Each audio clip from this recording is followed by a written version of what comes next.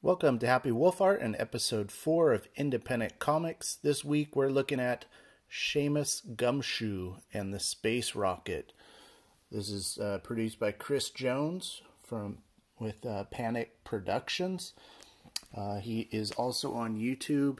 Um, he goes by Illustrator Jones and he has a lot of fun drawing videos with commentary. He has a great sense of humor and you can also find him on Instagram under Kris Jones Illustrator. And if you just give uh, a scan, quick scan of his artwork, you can see it's really imaginative, fancy, or fantasy full, and uh, I just uh, love the texture, the grittiness of it, the line work, and uh, the details, and also his watercolors and stuff. So um, yeah, so uh, Shamus Gumshoe.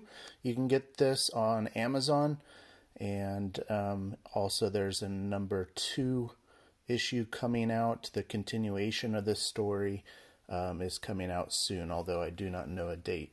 But uh, real quick, super fun story. Loved um, the artwork in it. Here's the sort of the title page. Uh, he also has a website you can go to and he has t-shirts and various other things available there. So do check that out if you're interested. Uh, just a real quick um, look at the art style just so you can get a feel for it. And uh, just a really engaging story um, has to do with the father and son.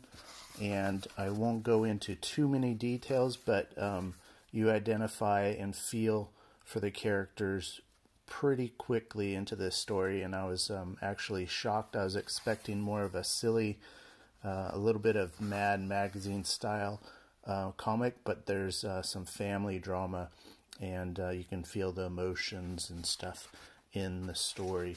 Um, so I'm looking forward to part two.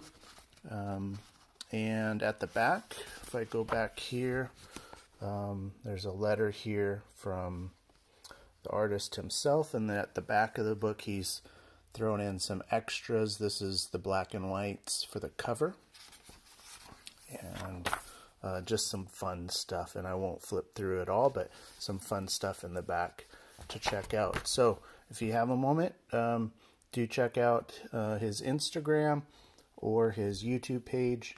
And again, Shamus Gumshoe, you can pick this up on Amazon. And um, have fun, enjoy it, and uh, give them a shout out. And thanks for joining me. All right, bye.